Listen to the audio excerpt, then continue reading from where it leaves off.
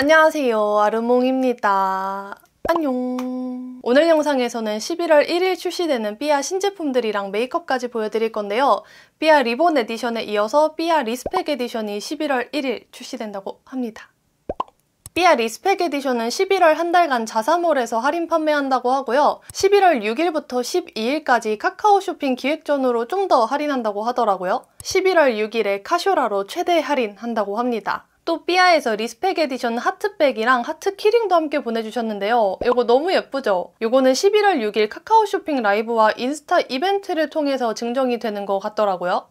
삐아 respect edition은 ready to wear eye palette 2종, glow lip tint 3종, last velvet tint 3종으로 출시 예정이고요. 제가 요즘에 신제품 리뷰하면서 팔레트들 대세가 약간 베이지 톤이랑 그레이 톤인가 보다라고 생각을 했는데 이번 삐아 신상이 딱 베이지 톤이랑 그레이 톤으로 출시가 됐더라고요. 제가 지난 데이지크 muted nuts 영상에서 베이지 톤 팔레트들 비교 영상 궁금하신 분 계신가요? 했더니 좀 많은 분들이 베이지 톤 팔레트 비교 영상을 기다려 주셔가지고 이제 준비 중에 있는데 일단 신상 리뷰들 좀 끝내놓고 빠르게 가져오도록 할게요. 삐아 respect edition ready to wear eye palette는 소프트하고 mute한 베이지 컬러부터 음영 mauve 컬러, deep brown 컬러들로 구성된 6구 팔레트 7호 원베이지 페일하고 딥한 미드톤 쿨 그레이 컬러부터 deep한 charcoal 컬러들로 구성된 6구 팔레트 8호 cool gray인데요. 각각 matte shadow 5구, shimmer glitter shadow 1구로 구성이 돼 있더라고요. matte shadow들은 베이스부터 기본 음영, deep한 음영까지 잡을 수 있게 명도가 좀 단계별로 명확하게 나눠져 있고 아주 부드럽고 곱게 발리는 제형이에요. 두 번째에 있는 matte shadow는 shading으로 사용하기도 좋은 컬러라고 하더라고요. 7호 warm beige matte shadow들은 제 피부톤 위에서 생각보다 warm하지는 않고 좀 mute한 편이었어요. 8호 cool gray는 진짜 제대로 좀 차가운 그레이 컬러더라고요. 7호 웜베이지에는 애교살에 사용하기 좋은 영롱한 핑크 베이지 실버 컬러 shimmer glitter가 들어있고요. 8호 쿨그레이에는 포인트 glitter로 사용하기 좋은 푸른빛 또는 오묘한 deep brown 컬러 shimmer glitter가 들어있습니다. 이 shimmer glitter 살짝 촉촉한 제형이어서 밀착력이 아주 좋더라고요. 근데 팔레트 컬러들이 딱 요즘 감성인 것 같아요.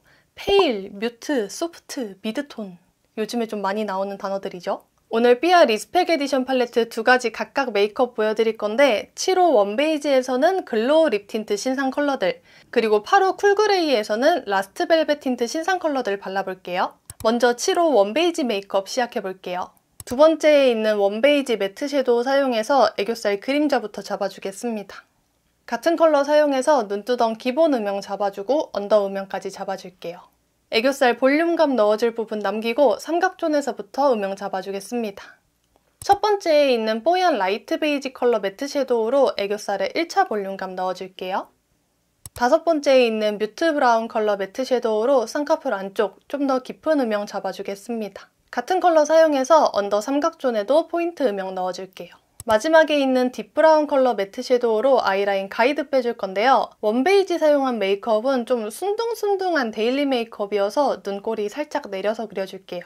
마지막으로 피치빛 shimmer glitter 애교살 포인트 glitter로 넣어주겠습니다. 이렇게 부분 속눈썹 붙여주고 아이라인까지 마무리하면 은 삐아 레디 투 웨어 아이 팔레트 7호 웜베이지 사용한 cozy beige eye 메이크업 완성입니다. 이제 글로우 틴트 신상 세 가지 컬러 발라볼 건데 일단 제형은 좀 맑고 쫀쫀한 유리알 광택감을 내는 편안한 촉촉 틴트 제형인데요. 요거 착색이 진짜 엄청 빠르고 짙더라고요. 시간이 지날수록 점점 deep해지는 착색이라는 점 참고해 주시면 좋을 것 같아요. 자연스럽고 맑은 핑크 베이지 컬러 11호 누디 보틀 부드러운 warm brown 컬러 12호 코코 보틀 deep한 plum brown 컬러 13호 마룬 보틀 오늘 메이크업 look에는 11호 누디 보틀 발라줬는데 실시간으로 착색이 좀 짙게 올라와서 바르고 시간이 조금만 지나도 생각보다 deep해지더라고요. 아무튼 이렇게 웜베이지와 글로우 립 틴트 신상 컬러들 발라봤고요. 삐아 리스펙 에디션 사용한 두 번째 메이크업, 8호 쿨그레이 메이크업 시작해볼게요. 두 번째에 있는 차가운 gray 컬러 matte shadow로 눈두덩과 언더 음영 잡아줄게요. 8호 쿨그레이로는 좀 semi smoky 메이크업 할 거여서 애교살 그림자는 잡아주지 않고 음영을 좀 낭낭하게 넣어주겠습니다. 세 번째에 있는 deep gray 컬러 matte shadow로 좀 더 깊은 음영 잡아줄 건데요.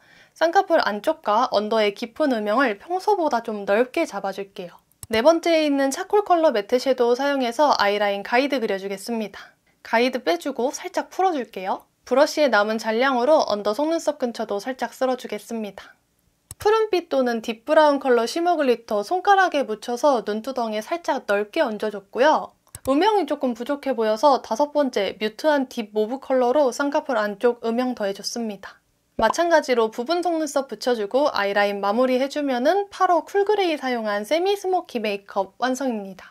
라스트 벨벳 틴트도 리스펙 에디션으로 신상 컬러 3가지가 추가됐는데요. 부드러운 벨벳 텍스처인 제품이어서 그라데이션이 쉽고 밀착력이 좋아서 또 over lip 연출하기도 좋은 제형이에요. 이번 신상 3가지 컬러가 전체적으로 가을, 겨울과 잘 어울리는 컬러들로 출시가 됐더라고요. MLBB mute pink beige 컬러 42호 꿰겐 피그 mute한 plum brown 컬러 43호 꿰겐 플럼 mute한 mocha brown 컬러 44호 꿰겐 모카 오늘 메이크업 look엔 꿰겐 플럼 발라봤는데 진짜 꽤 괜찮지 않나요? 너무 낯설었던 gray look인데 생각보다 진짜 마음에 들더라고요.